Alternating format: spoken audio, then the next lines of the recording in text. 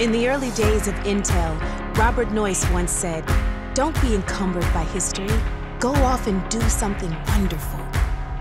And wonderful, we did. For more than 50 years, we transformed computing, putting Intel Silicon at the heart of innovation. But with all the breakthroughs we made, all the possibilities we created, what's truly wonderful is we did it together.